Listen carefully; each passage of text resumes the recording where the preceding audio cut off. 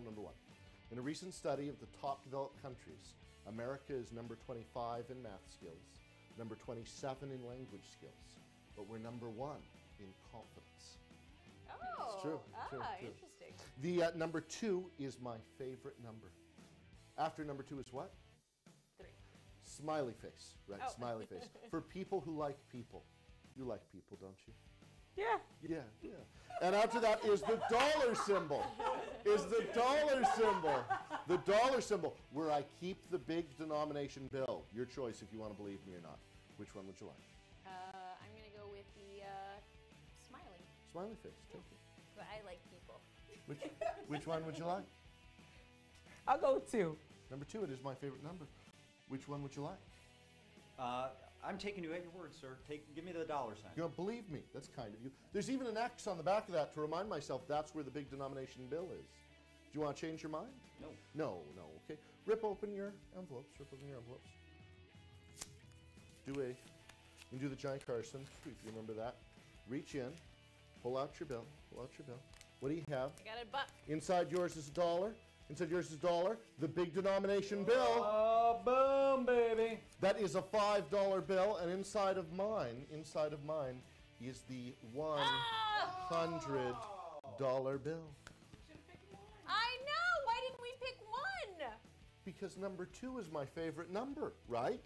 Dollar symbol. I said that's where the big denomination bill was, and I had to believe that, and so I put a bigger denomination bill in there so that you read that I'm telling the truth because I am.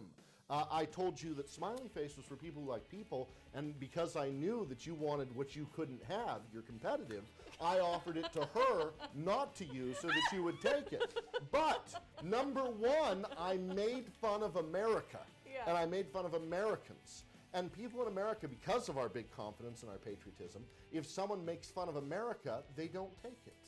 Huh. And if one of you would have, I would have given you an opportunity to switch. But luckily, that almost never happens. You, you had an opportunity to.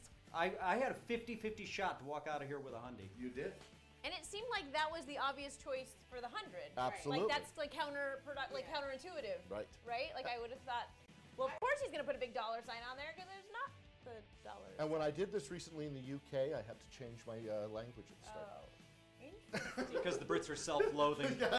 because they don't they didn't mind but uh, but yes out of out of my career i've done this at every show about 500 shows God, a I year for nine years and i've missed it twice wow, that's awesome.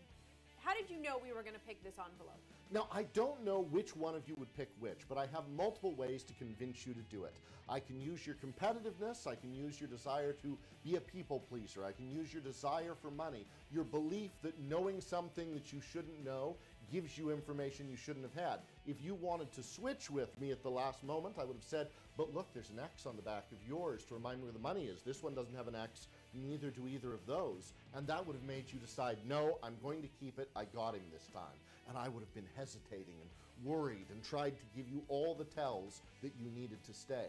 If one of you would have chosen the one, I would have given you the statistics about why you have to switch because it's always better in Let's Make a Deal to make a change.